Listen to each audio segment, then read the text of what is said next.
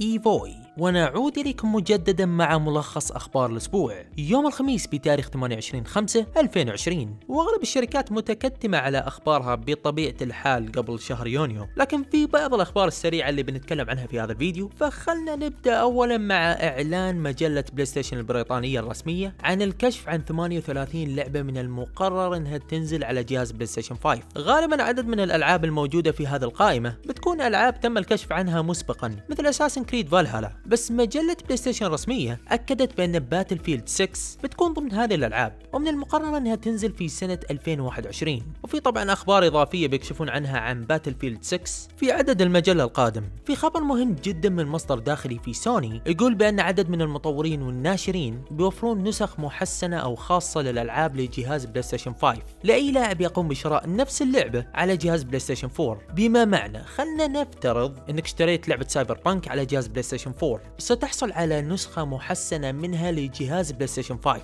بدون ما تدفع أي تكاليف إضافية. مع ذلك ذكر هذا المصدر أن سوني تركت الموضوع بيد الشركات والناشرين وأنها متفهمة تماما للتكاليف اللي ممكن تنصرف على تطوير نسخة أفضل لجهاز PlayStation 4 ولهذا بعض الألعاب ما بتكون فيها هذه الخاصية. سوني تعلن عن عودة بطولات PlayStation 4 مجددا. مع سبع ألعاب تقدر تتنافس فيها ببطولات أسبوعية عبر الشبكة. وهذه الألعاب تشمل Call of Duty Modern Warfare وفيفا 20 و Mortal Kombat 11 Warface و NBA 2K 20 وال Soulcalibur 6 وأخيرا BlazBlue Cross Tag Battle وأيضا في جوائز حصرية للي يشاركون في هذه البطولات. من ضمنها avatars و themes مميزة. انتبهت مؤخرا أن Epic Store صاروا يوفرون لعبة مجانية ضخمة للتجربة بشكل مؤقت. إلى جانب الألعاب المجانية الأخرى اللي يوفرونها كل شهر. الأسبوع اللي فات كانوا موفرين Civilization الأخيرة.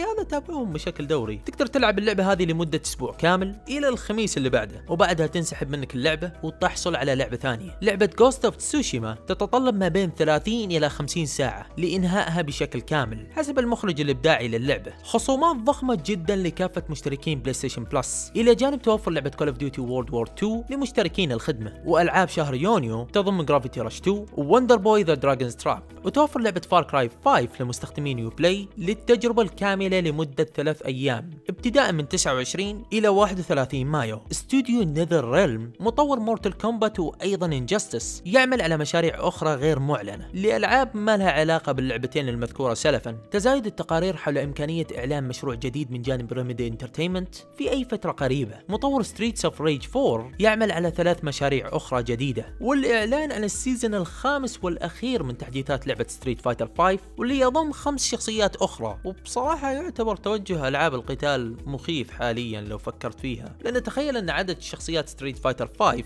الأساسية كان 16 شخصية عند إصدار اللعبة. لكن تم إضافة 29 شخصية بعد ذلك. في DLC مدفوع. يعني. وتاريخ إصدار لعبة Captain Tsubasa بيكون في 28 من شهر أغسطس القادم. إلى جانب إن لعبة Valorant ستصدر بشكل رسمي في 2 يونيو القادم. والآن خلينا ننتقل إلى إشاعات هذا الأسبوع. وعندنا واحدة من أهم الإشاعات تتعلق بعدد من التقارير اللي ظهرت مؤخرا. عن رغبة شركة سوني وأخيرا في القيام بمؤتمر صحفي لاستعراض جهاز بلاي ستيشن 5 بشكل رسمي. وحسب هذه الإشاعات يقال بأن شركة سوني ترغب بالكشف عن الجهاز بتاريخ 3 يونيو القادم. والسبب في تأخر الشركة يرجع إلى رغبة شركة سوني بتجهيز مؤتمر ضخم جدا وغير معد أو مسجل مسبقا. يعني المؤتمر هذا المفترض أنه يكون مباشر حسب الإشاعات يعني. بس في تقارير أخرى أيضا تقول بأن الكشف عن الجهاز بيكون في نفس التاريخ. ولكن هذه التقارير أيضا تقول بأن هذا المؤتمر بيكون مسجل يحتوي على القليل من التفاصيل الرئيسية عن الجهاز لا أكثر. وعلى كل حال ننتظر ونشوف المزيد من التفاصيل في الأيام القادمة. ولكن إلى ما تبقى من الإشاعات عندنا استمرار الإشاعات المتعلقة باستوديو Bluepoint Games وهذه المرة مع إشاعة عن عمل على remake للعبة Jak and Daxter للجيل القادم. ويقال بأن لعبة سبايدر مان ستتوفر لمستخدمين PlayStation Plus هذا الشهر. وأخيرا عودة الإشاعات حول وجود جزء جديد من Silent Hill بعد اعلان شخصية Pyramid Head للعبة Dead by Daylight وهذا الأسبوع ننصحكم بمتابعة قناة اوجيك واللي تنزل مواضيع نقاشية مختلفة عن مجال الألعاب إلى جانب مواضيع تاريخية وتستحق الدعم. وهذا اللي كان عندنا في ملخص أخبار هذا الأسبوع. فيعطيكم العافية ونراكم على خير في فيديو ثاني. في أمان الله.